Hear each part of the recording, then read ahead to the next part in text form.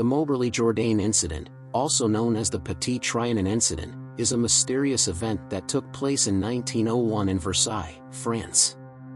According to the accounts of Charlotte Anne Moberly and Eleanor Jourdain, two English women who were visiting the Petit Trianon, a small palace located within the grounds of the Palace of Versailles, they stumbled upon a group of people who seemed to be from the 18th century. Moberly and Jourdain claim that they saw Marie Antoinette, the Queen of France during the French Revolution, and several other historical figures, including her children and some of her ladies-in-waiting. There are many theories about the Moberly-Jourdain incident, and what, if anything, actually happened. One theory is that Moberly and Jourdain really did see Marie Antoinette and other historical figures, and that they stumbled upon some sort of time portal or portal to another dimension. According to this theory, Moberly and Jourdain somehow traveled through time and space, and they saw what was happening in the Petit Trianon in the 18th century. Some people believe that there are places on Earth where the veil between the past and the present is thin, and that Moberly and Jourdain were somehow able to see through this veil and into the past.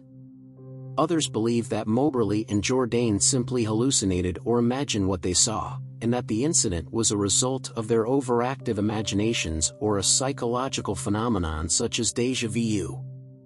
According to this theory, Moberly and Jourdain may have been under stress or experiencing some sort of emotional turmoil at the time, and their minds created the illusion of seeing Marie Antoinette and other historical figures. Some people believe that the human mind is capable of creating vivid and realistic hallucinations, and that Moberly and Jourdain were simply experiencing a hallucination or a delusion. There are also theories that suggest that Moberly and Jourdain were the victims of a prank or hoax, and that the incident was staged by someone who wanted to mislead or deceive them. According to this theory, Moberly and Jourdain may have been duped by someone who wanted to play a trick on them, and they were led to believe that they saw something that was not really there. Some people believe that the Moberly Jourdain incident was a carefully planned and executed hoax, and that it was designed to mislead or deceive Moberly and Jourdain. Despite the many theories and speculations surrounding the Moberly Jourdain incident, the true nature of the event remains a mystery.